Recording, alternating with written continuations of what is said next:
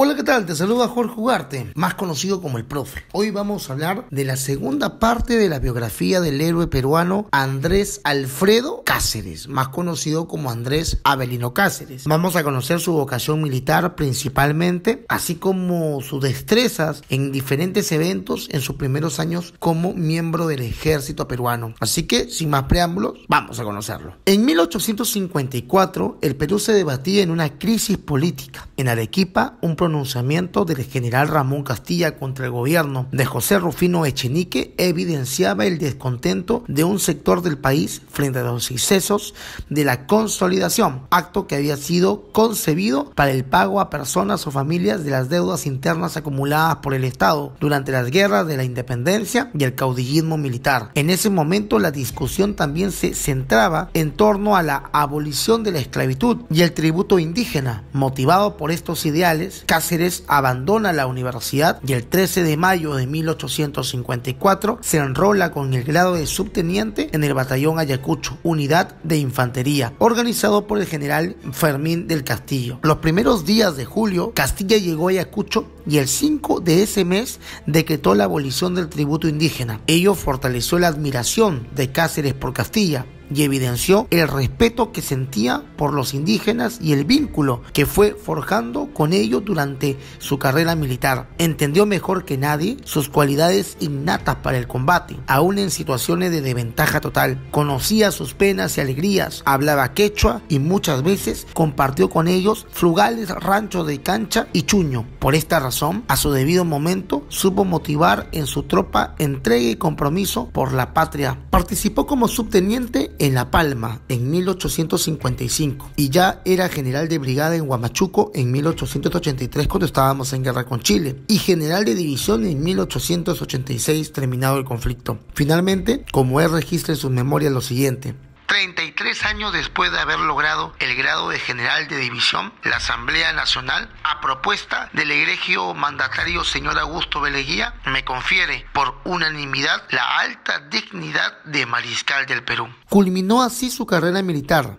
descubierta un buen día en Ayacucho ante el magnetismo de Ramón Castilla. En la efigie que hace el historiador Jorge Basadre de Cáceres, resalta esa habilidad instintiva que tienen los grandes guerreros para unir el arrojo y la valentía personal con la provisión de los medios y recursos de los que se valen para realizar sus acciones. Por ello, Basadre reconoce en Cáceres su habilidad y acierto para juntar tropas, adiestrarlas, conducirlas y volverlas a reunir, obtener hombres, fusiles, bayonetas, municiones, uniformes, asémilas, cuchillas, ondas y rejones. Es decir, Cáceres encontraba armamento rústico donde no había absolutamente nada. En octubre de 1856, Cáceres se encontraba en Lima y asistió a la promulgación de la Constitución Liberal de ese año. Y cuando estalló en Arequipa la revolución de Vivanco contra dicha constitución, fue destacado a Tacna para impedir que los desórdenes se extendieran a dicha ciudad. Allí demostró responsabilidad y entrega en el cumplimiento de la misión asignada. Fue ascendido a teniente efectivo en junio de 1857 y a capitán en enero de 1858. De inmediato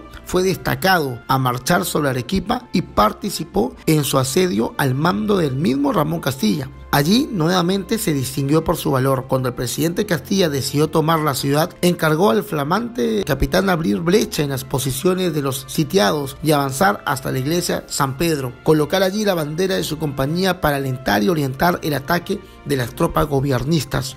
El capitán Cáceres perdió la tercera parte de su gente, pero plantó la bandera en el sitio indicado. Cumplida la misión, se dirigía con su columna a desalojar a los parapetados en la iglesia de Santa Marta, cuando una bala le hirió en el párpado inferior de su ojo izquierdo y salió por la oreja. Por la gravedad de sus heridas lo dieron por muerto, pero los encargados de recoger los cadáveres después de la batalla se dieron cuenta de que estaba vivo y le brindaron auxilios oportunos. El 6 de marzo de 1858 le otorgaron el grado de capitán efectivo. Cuenta la tradición que al visitarlo el presidente Castilla en el hospital le dijo premonitoriamente, herida grave, muy grave, que no es mortal. Dios lo reserva, sin duda sí, lo reserva para grandes cosas. Restablecido de sus heridas, se incorporó a su unidad donde sus amigos lo bautizaron como el tuerto. Esa experiencia le dio prestigio y fama de valiente, la que incrementó durante el conflicto con Ecuador de 1859. Con la herida aún sin cicatrizar, Cáceres viajó al norte, donde el presidente Ramón Castilla había establecido su cuartel general.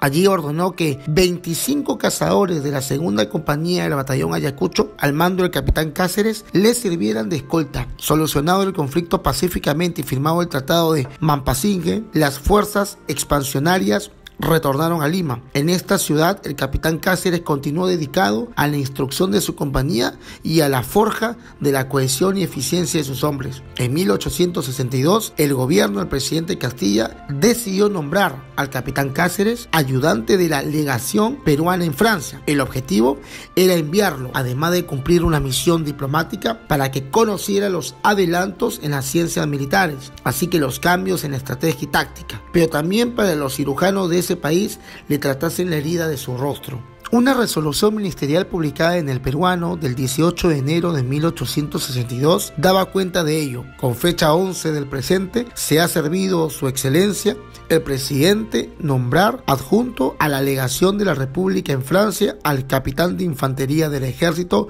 don Andrés Cáceres. No se tienen detalles de su actividad en París, pero según su temperamento es bastante probable que hubiera dedicado buen tiempo a leer y capacitarse en las técnicas de infantería que estaban en pleno desarrollo en Francia. Permaneció en la ciudad de la luz 19 meses, del 18 de enero de 1862 al 10 de agosto de 1863. Allí, además de someterse a diversos tratamientos médicos, cumplió funciones como adjunto a la legación peruana encabezada por Pedro Galvez. A poco de su regreso al Fue destacado el batallón Pichincha número 3, que se encontraba en Huancayo, y el 10 de diciembre de 1863 fue ascendido a sargento mayor graduado. Guerra con España. El 2 de mayo de 1866 y las pacíficas aguas de la bahía del Callao se agitaron con violencia. La madrugada de ese día, según el parte oficial del glorioso combate del 2 de mayo de 1866 de Fernando Casós, los buques de la escuadra española en el cabezo de la isla de San Lorenzo atizaban sus fuegos para atacar al puerto del Callao. Las inmensas riquezas generadas por la comercialización mundial del guano peruano avivaron los latentes deseo del Reino de España para recuperar sus disque posesiones en América y así restaurar su vieja política virreinal. La prueba es que, a pesar de que la independencia peruana se selló en Ayacucho en 1824 fue recién en 1853, es decir, 29 años después, cuando España se dispuso a reconocerla. No obstante, quedaba una ventana aparentemente abierta. España exigía el pago de la deuda que el Perú había reconocido en la capitulación de Ayacucho. Esta ventana pretendió ser transpuesta a partir de agosto de 1862, cuando desde la península ibérica partió una llamada Expedición Científica Española, integrada por cuatro buques de guerra, la fragata Resolución y Triunfo y las goletas Vencedor y Covadonga. Sí, la Covadonga, que vamos a tener una historia con ellos más adelante en la Guerra del Pacífico. La poderosa flota bélica era superior a las principales armadas del Perú y de Chile. Sí, Chile fue nuestro aliado en esta guerra. La más fuerte de ambas era la peruana. Tenía dos fragatas de madera, pero de inferior potencia artillera que las españolas. Chile solo poseía la Esmeralda, una corbeta de madera inferior a las dos fragatas españolas y ligeramente superior a sus goletas. El 4 de agosto de 1863, mientras la expedición científica española navegaba por las costas del departamento de Lambayeque, se produjo un incidente en la hacienda de Talambo, de propiedad de Manuel Salcedo 40 peruanos fueron desafiados a pelear por peones vascos afincados en Hacienda.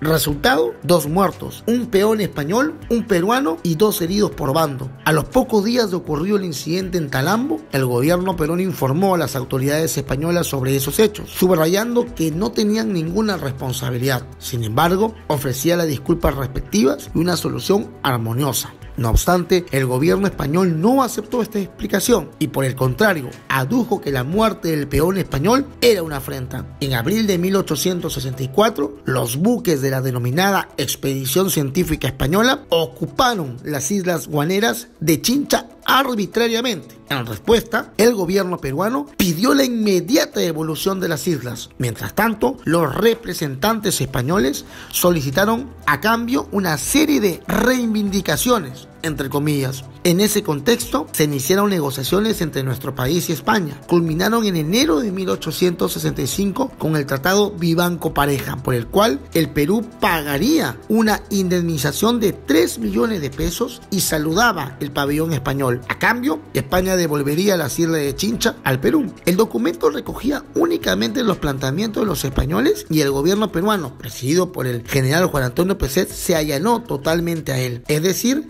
terminamos cumpliendo o aceptando las veridades y caprichos del gobierno español. Ese acuerdo al ser dado a conocer públicamente por lo lesivo a nuestros intereses y humillante para nuestra dignidad, fue absolutamente rechazado por la mayoría del sector de la ciudadanía peruana. Es aquí donde nuestro héroe entra en escena nuestro personaje, Andrés Cáceres. La oposición activa del sargento mayor Andrés Avelino Cáceres, así como sus permanentes críticas al gobierno del presidente Juan Antonio Peset por haber permitido la ocupación española en las islas de Chincha por una ficticia expedición científica española, como por haber firmado el vergonzoso Tratado Vivanco Pareja, tuvo gran recepción, especialmente por las provincias, donde el apoyo a los levantamientos de Prado y de Balta fueron más decisivos. En respuesta, el gobierno de Peset hostigó a Cáceres, al punto de que debió exiliarlo a Chile para salvar su vida. Fue por muy pocos días, pues junto a otros oficiales a su mando, consiguió regresar desembarcando en el puerto arequipeño de Moyendo. Cáceres llegó a Arequipa donde se incorporó al movimiento del coronel Prado, destacado en el batallón Puquina número 15, marchó al Cusco y siguiendo la ruta de Abancay Andahuaylas, se dirigió a Ayacucho. Esta exitosa marcha le valió el ascenso a teniente coronel graduado el 3 de julio de 1865. Meses después, Cáceres ingresó triunfante a Lima con las tropas revolucionarias de Mariano Ignacio Prado. Al ingresar a Lima, Prado derrocó a Peset, implantando una dictadura bajo el modelo de la República Romana. Durante este periodo, Prado formó el gabinete de los Talentos, presidido por el abogado José Gálvez. Asimismo, estableció una alianza con Chile, a la que se adhirieron Ecuador y Bolivia más adelante. El 14 de enero de 1866, esta cuádruple alianza